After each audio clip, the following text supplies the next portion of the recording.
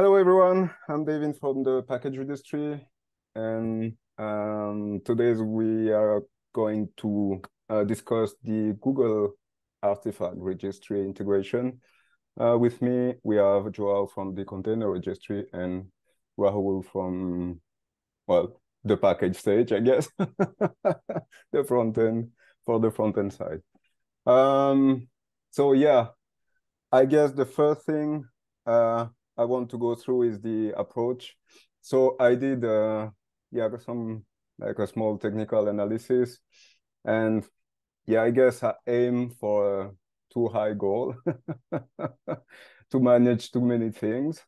Um, I think we are all more or less in agreement to on the first version on the first version to support one single set of credentials and one repository of from from the artifact registry. But um, think about supporting multiple repositories. Uh, yeah i'm pretty convinced that we are going to have this need um, due to the other formats that we have in the repositories. And we will have users saying hey i have docker images and and Maven packages and npm and apt. Can we can we have everything in a, in a single GitLab project? So um, yeah, I think we should aim for that uh, first version. Uh, am I accurate with that scope? Yeah, I think so. Uh, there are a few things that that we can do. For example, yesterday I was we were talking about uh, the environment variables. Uh, yep. So probably it, it's not a good idea to provide an environment variable which includes uh, the repository name, uh, because if we are going to add support for multiple repository names, uh, then we will have to let the users decide what's the target repository, repository name for a push and a pull. Uh, so maybe we should just fill the other parameters like the project ID and, and location uh, and leave that part outside. So yeah, there are a few things that we can do to make sure that uh, we can add support for multiple repositories without breaking changes. Yeah. Without changing environment variables, without changing APIs. Uh, yeah, what I want to avoid is okay, receive the need of multiple repositories. And now we are kind of stuck or blocked with an implementation. And we have so like so big barriers that we need to work to towards lowering them. Um, be it i don't know data migration or uh, or something. If we can uh, at least think about supporting multiple repositories from the start that would be nice. Um, okay. Uh, so then the next question uh, yeah, I think we discussed where to put the yeah i call it the gitlab border. It's like from from which point we start controlling things on the gitlab side. So we have a kind of a hierarchy. We have uh, google projects. Each project has many repositories and each repository has many uh, artifacts. So where do we put the the google the google the gitlab uh, border so uh, there was this idea of, um, yeah, let users just fill a list of uh, projects and we dynamically get the list of repositories. That sounds um, great. But yeah, as I said, as I commented, I think I would leave that for a follow-up rather than the first version and start with uh, simple things like they need to provide a project and a repository. That would be the first version. And then if we want to open up and they just provide a list of Google projects, yeah, why not? That, but that would be the second version. And I would do that when all the formats of the repositories are supported. Yeah, uh, I think that sounds good to me. I think your explanation there uh, was uh, uh, good and we were I, we were i was discussing where we put that like boundary and yep. so i think in agreement there we can go with uh, like having the repository as the layer Okay, we... okay, that that works then. Um, so now digging a bit deeper in the implementation, we have this uh, part in GitLab projects, which is called project integrations. And so, well, logically, that's where we want to put our settings, right, of the artifact registry. Um, the issue, it's not an issue, it's more a challenge. The challenge I see is that how this part is implemented, it's it's like a super small framework where you have an integration object and you have actually like a name, like some kind of common data, and then you have uh, a props, and that that property is it's a simple hash, and so you put whatever you want inside of that hash. So you can put like URLs, API keys, whatever. Um, the challenge I see is that, well, we are going to put the credentials in there because it's only one set. But for the repository, we need to put a array of at least, uh, I guess, strings that would be the repository names.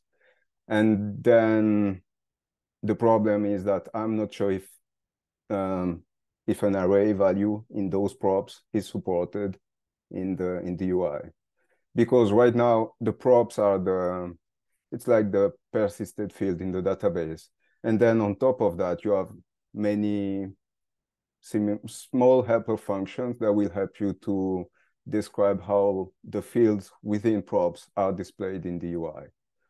Uh, so you can say, hey, in the props, I have a, um, for example, for the the um, the Google project ID. You can you can say, hey, in the props I have a I have a project ID, and that's a string, and it needs to be displayed like this. And so then the UI will understand that okay, I have a props object, and inside those props, I have a project ID that I need to display. The problem with the repositories is that if we want to support multiple repositories, we will need to support, hey, I have a, a key that is named repositories in the props, and the value is an array of string. And I'm not sure that this is supported.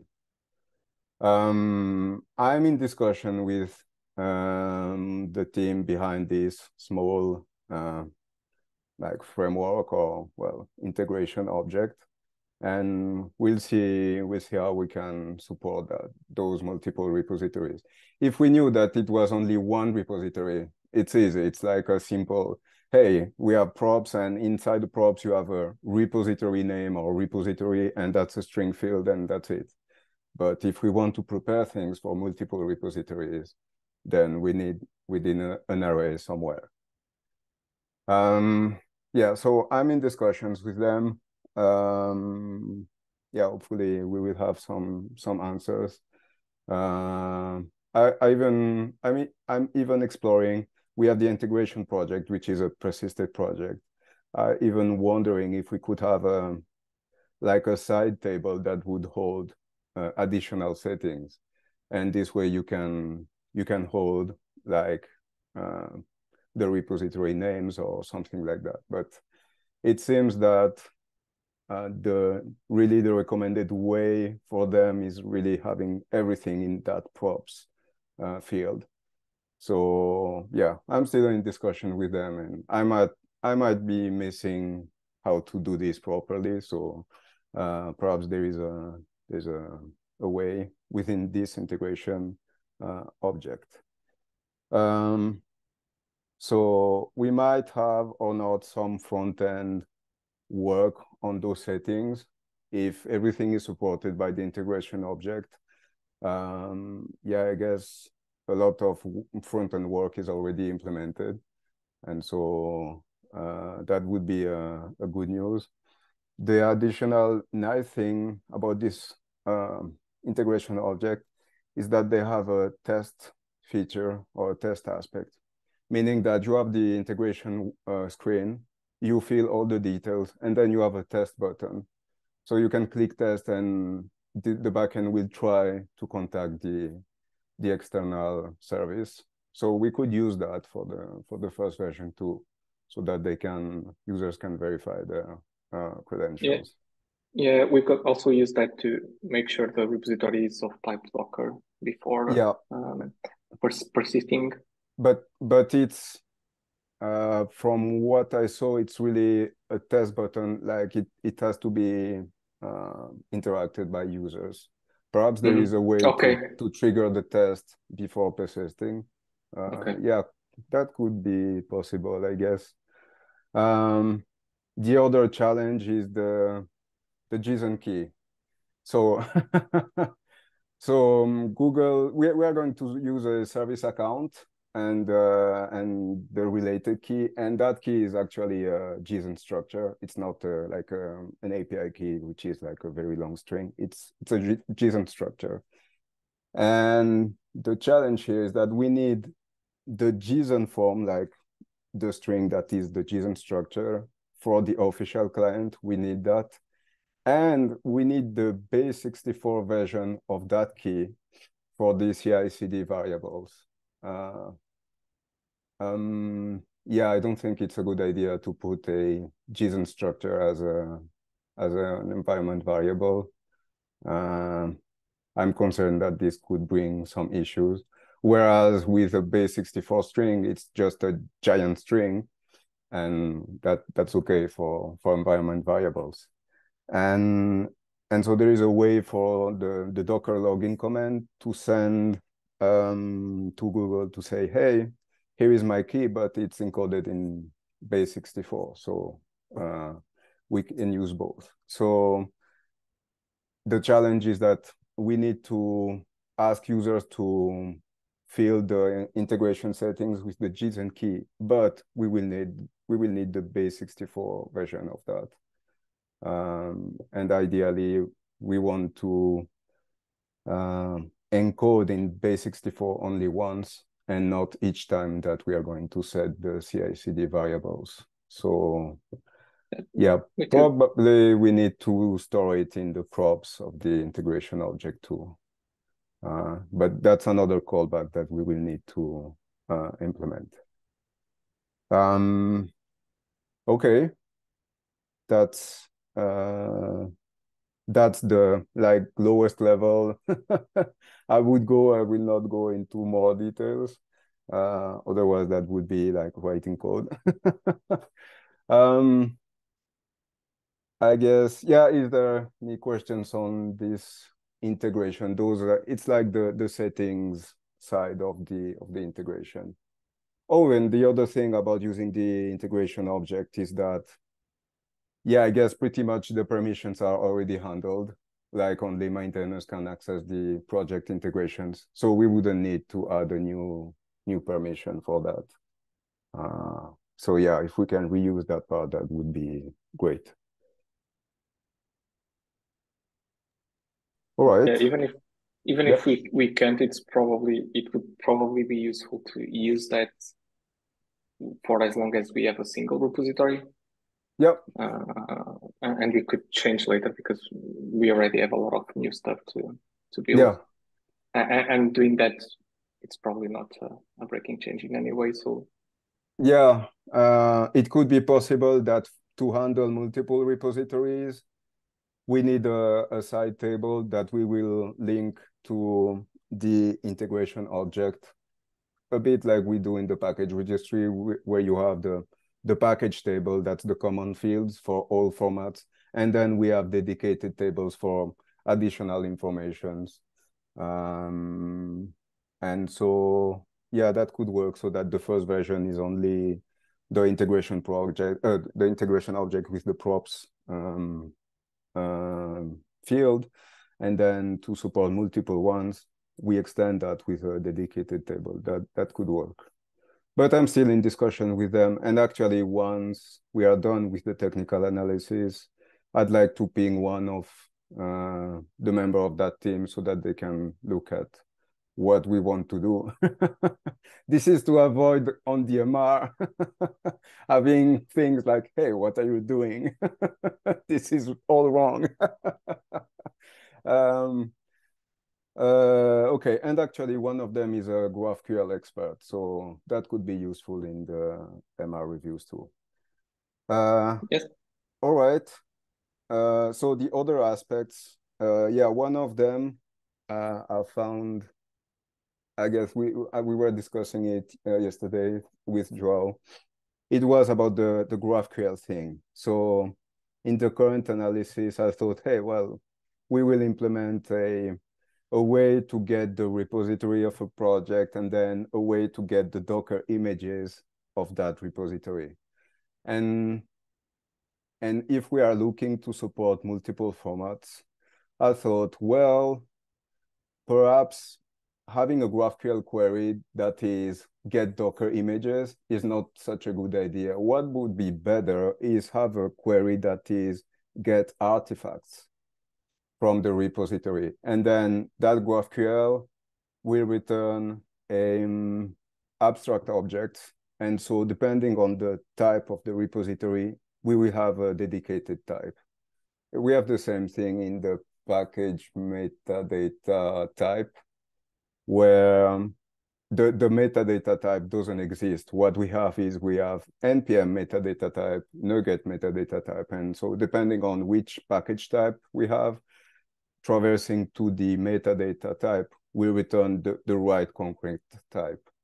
So we could do the same here, have a get artifacts query, and that query will return the right objects depending on the type. So, well, obviously on the first version, we, we, we are going to only support Docker images. So if the repository is something else, well, we either return a an error or an empty result. Perhaps an error is, is a better thing.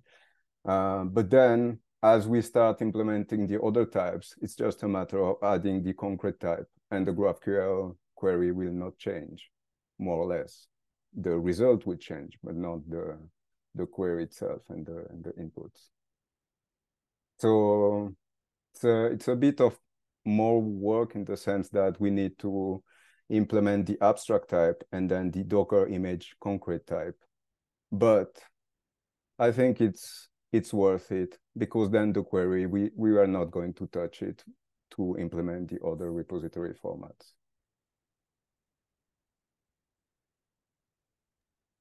Okay. Yep. Sounds good. okay. Sounds good. Um, uh, so I, I left a comment um like based on your discussion yesterday. I just left I've left a comment um, okay in that same issue. And uh, yeah, I was trying to envision where if we can validate when we are adding the uh, repository, if it's a type, uh, it has the format type Docker, um, then um, in the UI for the Artifactory registry, we can just have the Docker images list page and the detail page. Uh, we don't need to show the list of repository page at all in the first instance. And in the next next iteration, we can have the list of repositories, and those can have the filter, like filter from, um, and those will already be filtered by Docker because when you're adding it um, in the integration settings, um, it's validated that it's a Docker format. Uh, yeah, well, we will still need to handle issues because, uh, yeah, as Joao suggested yesterday, we could have this crazy situation where someone uh, destroys a repository and we create the, another one with the same name, but in a, different format mm-hmm. and doesn't change the integrations on the GitLab side. And so, yeah, we might need I guess it's it's better if the backend still verifies that we have the right format when we ask for the um, for the Docker images. Actually, the the official client will end up in an error if you ask. Like the official client, the method is really get Docker images. That's the name of the mm-hmm. function. Mm -hmm. If you call that on a repository that is on format, I don't know, npm, that will end up in an error. So it's it's not like we need to verify it like we will get an error and we need to handle that yeah i think we need to still um yeah if if it's um um if it's required that you need to call the format thing yeah um that'll that that'll actually scale better when we add like multiple formats as well right so I think having that support in the backend is probably useful. Yeah. And I'm trying to think from a front end perspective to keep like the most uh, like minimal implementation. Yeah. And not have like an extra page. Um, so if you have like one repository, we show the repository, like the list of Docker images. Um, if it fails, then uh, you will handle it on the backend and show like no Docker images or something. Yeah. I know the uh, API will fail with an error, but probably we'll handle that with a, like an empty array, and then we'll show that. Um, in the integration, they can probably test their connection or whatever, Yeah. and this Yeah. um, um, check that uh, it has the right format. If not, we'll show some error and then ask them to update it or something like that. Yeah. Um, and so in so in the first version, we'll just um, have the Docker images list page and the detail page, and the integrations can have Yeah. the single credential and So I, Yeah. I you want to avoid the page where there's an a single row, a single leak, which is the yeah, single repository. Yeah. yeah, yeah, one more click. Yeah, correct. we can put a small message there. Almost there. yeah. um yeah, that can work. I guess. Yeah, that can work. Uh so we could have like the query to list artifacts, we could accept a project global ID directly.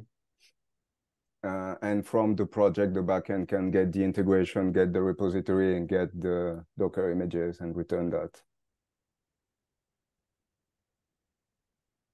Yep, correct, correct. Yep, yeah. Okay. So- so- So um, the front end will call the get artifacts um, Yeah. API, and then uh, yeah, for that And then- project. And then I guess have a one query for get Docker image because when you when you will Yep. have the result of get artifacts, you will know that those are Docker images. And so Yep. to get the details, we will need another GraphQL query, uh, which will Yep. be get Docker image. And actually, the backend can call get Docker images and get an error because before that, we need to know which well, it depends. I get I, I guess on the first version, we could call get Docker images on the repository without checking it. But on the version where we support multiple formats, we will need to know, okay, this repository, which format it is, is it Docker, NPM, or Maven? So we will probably need to call the get repository details. There is a method to get the, the information of a repository. And so the backend will need to uh, handle that. But that's okay for the first version, I guess. We can directly call get Docker images, and if there is an error, just either return an empty array as you suggested, or we could also return an error so that the front end can display, hey, Yeah, uh, useful there was a there was an issue. Check your uh, project integration settings or something. Yeah, yeah. yeah. Okay. Uh yeah, that works for me. Uh okay. And then yeah. Um yeah, the other aspect was CI/CD variables, but I'm not sure if there is something to discuss there. Or I guess we can discuss it in the blueprint directly. Uh, it was mainly the approach and the, the GraphQL and the project integration I wanted to discuss today.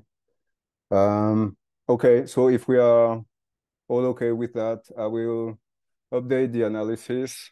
Um, I will also uh, get the answers from the uh, for this integration object and and that props field, and uh, yeah, update the analysis with that. And I guess I will ping you for a, a second round of feedback. Uh, well, hopefully. Like we see the, the end of this analysis, and then I will port all the main points to the blueprint MR so that we have everything in a, in a single place. Does that work for you? All right. Yeah, definitely. Yep.